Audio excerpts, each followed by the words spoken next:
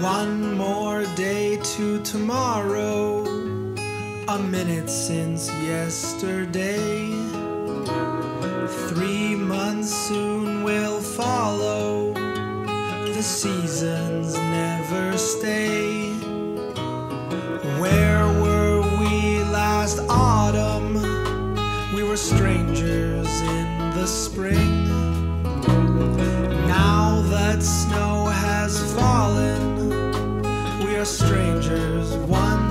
again. The world was built by the curious and broke by the ones who are bored. In time, the seasons may ruin us and take all that we adored. Paint all your pictures and sing all your songs.